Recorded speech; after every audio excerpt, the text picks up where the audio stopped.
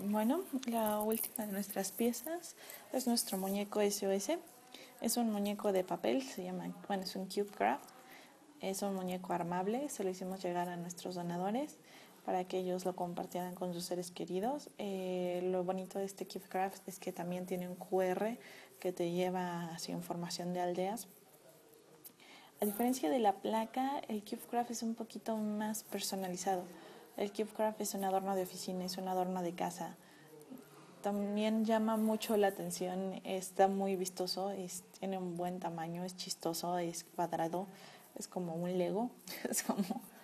Eh, es un juguete, es algo lindo. Creo que es como reconocimiento a nuestros donadores y también eh, de alguna manera atraemos a la gente a, a que creen conciencia sobre la problemática que es el abandono infantil y también los atraemos a que quieran donar, quieran ser parte del cambio, quieran transformar la vida de un niño o de una niña.